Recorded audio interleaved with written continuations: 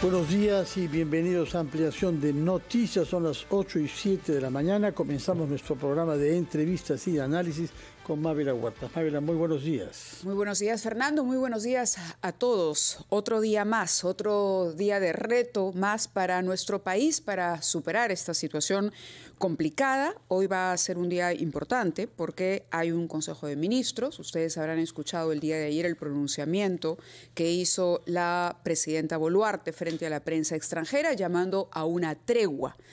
El día de hoy veremos eh, también su exposición, seguramente, ante la OEA después de esa reunión que tendrá el gabinete para ajustar las medidas que se están tomando para atender las necesidades de nuestros compatriotas en distintos sectores del país. Está con nosotros a esta hora de la mañana precisamente la ministra de Salud, la señora Rosa Gutiérrez, a quien le damos la bienvenida aquí a nuestra cabina. Muchísimas gracias por acompañarnos y queríamos empezar por un tema que es urgente. ¿Cuáles son las medidas que se están adoptando para remediar los problemas que se presentan en diversos hospitales. Hospitales a donde no llega el oxígeno medicinal, hospitales a donde no llegan los medicamentos, el instrumental que requieren los médicos, por ejemplo, para operaciones pendientes y postergadas. Muy buenos días y la, escuchamos. Eh, muchas gracias, muy buenos días Mávila, muy, muy buenos días distinguidos eh, eh, periodistas.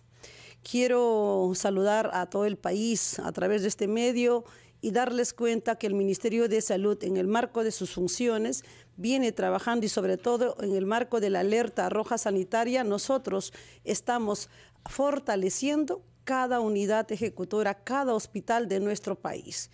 ¿En qué, ¿En qué consiste esto? Estamos dotando de medicamentos, de insumos, de recurso humano, de reactivos, de vacunas, de instrumental médico y todo lo que demande cada hospital. Tenemos dificultades, por ejemplo, en Puerto Maldonado, tenemos en La Joya, tenemos dificultades en Arequipa, porque nuestros pacientes hospitalizados ya no tienen los insumos para preparar los alimentos, pero no solo es eso, también tenemos las plantas de oxígeno que en este momento se han activado aquellas que estaban operativas pero apagadas por el alto costo que demanda esto, porque tenemos pacientes en UCI pacientes que requieren de este oxígeno medicinal y, sabemos en todo el país que hay una empresa Linley que tiene que distribuir este oxígeno en las diferentes regiones. Y, porque, y por las carreteras que están obstruidas, pues estas no llegan y ponen en riesgo no solamente a aquellos pacientes con COVID que están en UCI, sino también a aquellos otros pacientes que por otros, por otras causas de por sí, están hospitalizados en la unidad de cuidados intensivos. Ministra, el diagnóstico es agobiante. Totalmente. De verdad, hemos eh, tomado nota de esas necesidades. Eh, como usted ha dicho, el tema del oxígeno medicinal lo hemos tratado hace un par de días aquí en Ampliación de Noticias, sumamente grave. Pero vayamos a las soluciones y a la manera en que el Estado está viendo la forma de solucionar y de finalmente eh, acercar a los pacientes esos insumos. Sí, mire. Eh, estamos trabajando sobre los puentes aéreos, estamos trasladando con el apoyo del Ministerio de Defensa medicamentos, insumos, alimentos, todo lo que tiene que ser hasta, equipos de alta cirugía. Y no solo eso, eh, también quería trasladarles a todo el país, nosotros hemos iniciado el desembalse quirúrgico en las 25 regiones. Entendamos que hace tres años tenemos pacientes que están esperando una intervención quirúrgica, ya sea de un tema de vesícula, hernias y otras patologías, pero aparte tenemos pacientes, niños, menores de 4 o 6 años con problemas de tetralogía de Fallop, con problemas de cardiopatía que tienen que ser intervenidos en la ciudad de Lima y a ellos los estamos trasladando vía aérea a los diferentes nosocomios de, nuestra, de nuestro país. Pero hay muchos casos, esto naturalmente son decisiones que se toman en los hospitales, porque son ellos los que solicitan estas ambulancias aéreas. Pero ¿qué puede hacer una familia?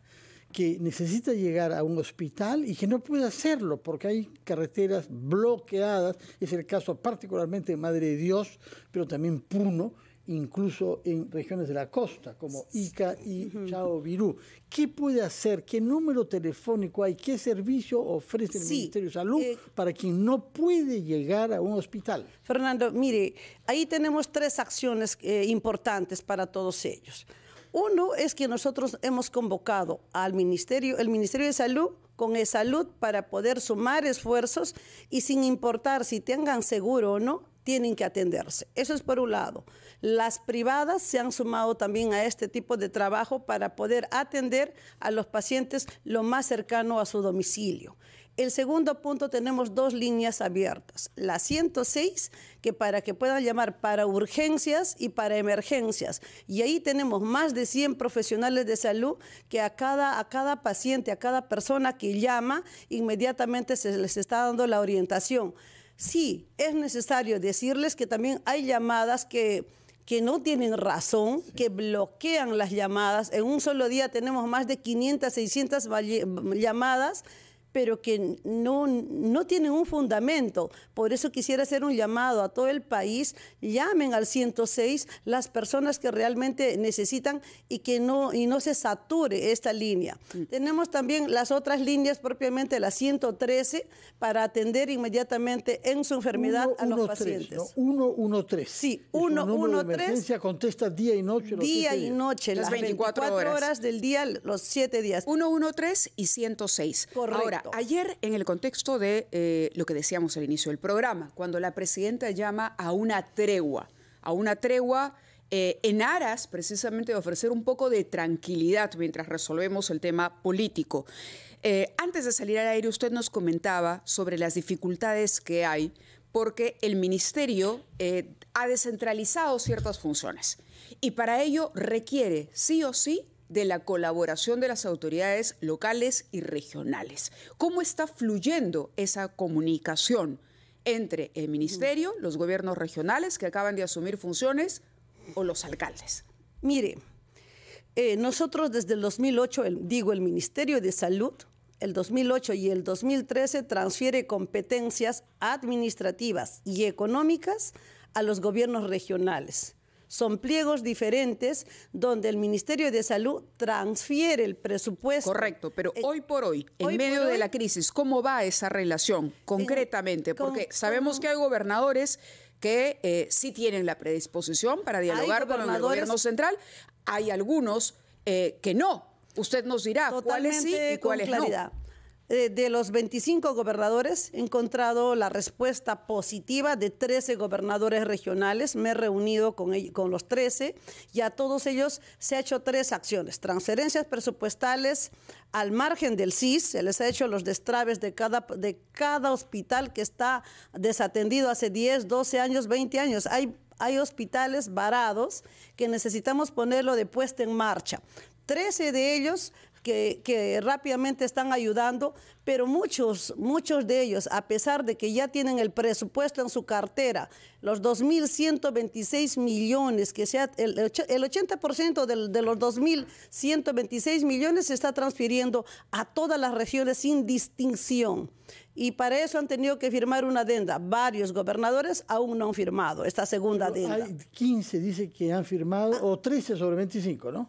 De, de, todos ellos, 13 que ya tienen el, el, presupuesto en su cartera, el resto, falta todavía firmar esta segunda adenda. Que lo hagan esta misma semana. Permítanos, entre tanto, ir, por favor, a una pausa que eh, permitirá oír a los anunciantes de RPP. Y después retomamos nuestra entrevista con usted, ministra de Salud.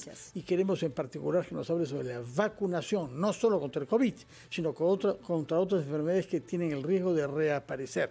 Y sabemos que ha diseñado un sistema con brigadas que quisiera que nos explique qué dificultades se enfrenta para desplazarse en nuestro territorio. Mávila, vamos a una primera pausa. Hacemos una pausa, Fernando, y regresamos en ampliación de noticias.